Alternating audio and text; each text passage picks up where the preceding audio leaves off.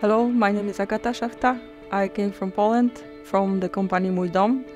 Uh, is the factor, precast factory uh, from Poland, from near to Wrocław, with a 30 years experience uh, in the developing industry, and uh, then the company invest in the precast company. So now I am the general manager. I'm from the beginning in the factory. We are winning with the competitors with the quality of the products. It's the feedback from our clients that if somebody is ordering from us, uh, the, our quality is the best. With such a modern factory, we uh, we need a lot of help uh, from technical point, and now we continuously tr trying to improve. Yeah, so continuous improvement with uh, Green Code. Green Code helps with that.